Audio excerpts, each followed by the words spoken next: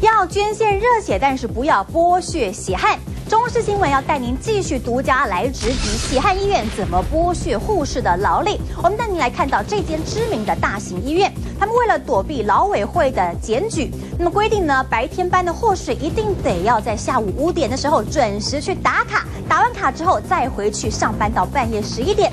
如此一来，劳工局就查不到工作超时的记录。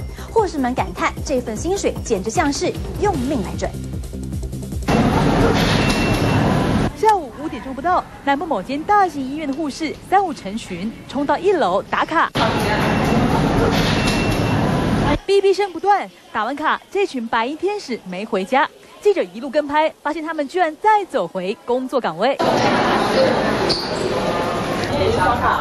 护士相互询问：“你今天刷卡了吗？”血汗医院让护士工作超时，劳委会现在开始调查，但上有政策，下有对策，就有护士在网络上破文大骂，说医院规定白班护士要在五点前先打卡做样子，然后再回去上班。如果超过规定时间打卡，还会扣考级。这样一来，人家来查就可以拿出数据，说我们都有让护士准时下班。原本刷卡上班前两小时要刷卡，下班三小时内要刷卡。他来说。